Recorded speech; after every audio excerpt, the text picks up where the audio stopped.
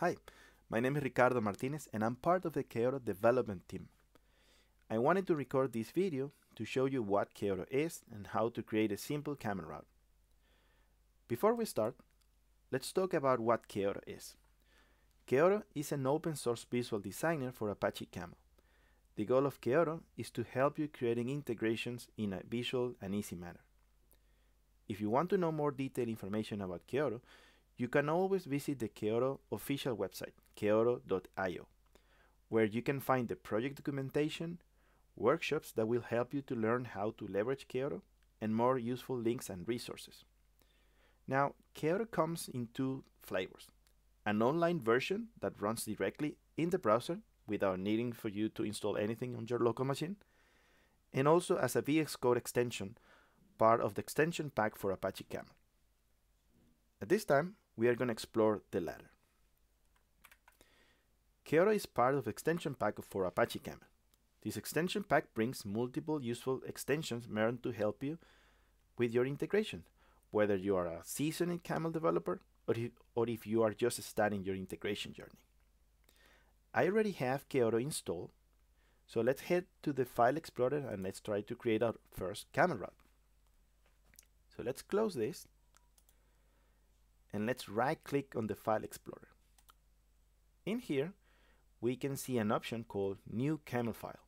So we are going to create a camel route using the YAML DSL, the first option. So let's click here. And now we are asked for a name. So for us, let's call it route. Let's press enter. And let's wait a few seconds for the route be created and now we are presented with Kaoto. Let me close this to focus on Kaoto. Okay, so before we go further, let's explore Kaoto. So first of all, starting from the top left corner, we have the Design tab.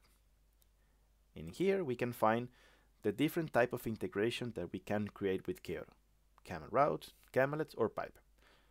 Right now we are working with a camel route. Moving on, we have the flow explorer or the flow list. In here we can see all flows or all integrations that we have in our file. And this time we have a single one. We can toggle the visibility or we can simply delete it. We can add new flows to the integration. We can add new routes, configuration elements, or error handling. Moving on, we can copy the underlying YAML code into the clipboard if we wanted to copy it somewhere else.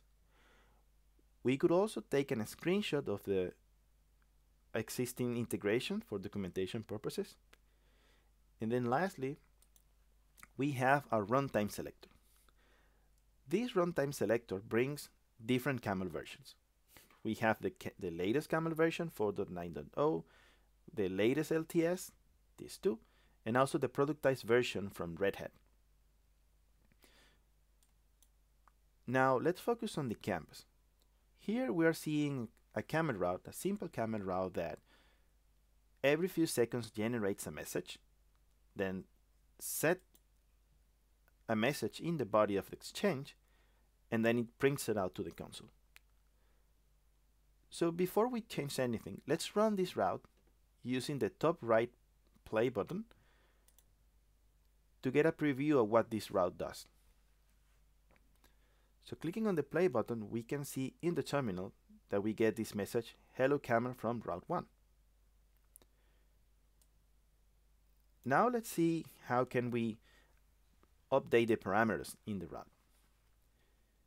First of all, we can click on the timer component and then we see the timer name. In this case, is YAML. This is the name that we see here.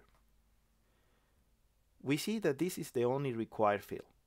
If we want to see more fields, we can head to the All tab, where we can see all the parameters of this step.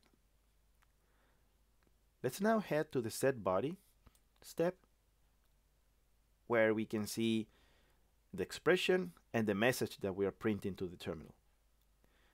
Let's change this and say hello from Kaoto.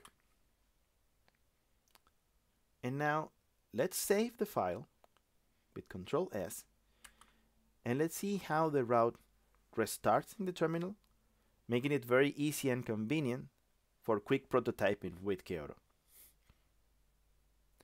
If you want to learn more, please check out the other videos from the YouTube channel and also check the Kaoto website for more information. Thanks a lot. See you in the next time.